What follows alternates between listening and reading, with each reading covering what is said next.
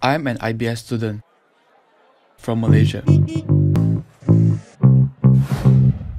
What makes me special? Is it that I attend numerous business related courses?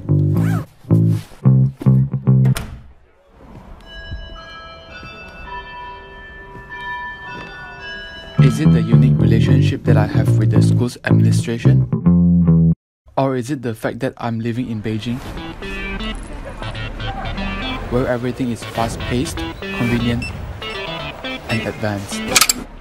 Well, yes, all of those mentioned. But what I feel makes me really special is the cultural diversity I experience in this school. My class itself consists of students with six different nationalities. 안녕하세요. Bonjour. Привет. Буна. Setai. Ciao. But I got to know so many more. Konnichiwa. Assalamu alaikum. Ciao. ¿Cómo estás? Hallo, schöne Grüße von Deutschland. Aloha New York. Привет. Tagalamaal, hoe gaat het met jullie? Assalamu alaikum, While widening my perspective on culture, I learned several things along the way. How to drink Korean style.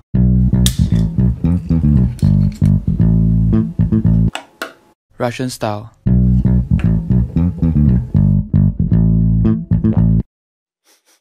Kyrgyzstan style.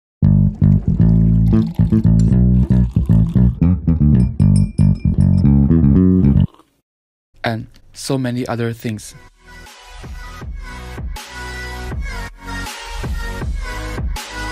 During my time here, I'm able to make so many friends from all around the world with so many nationalities.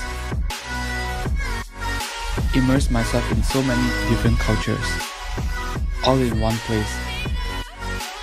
Here in IBS.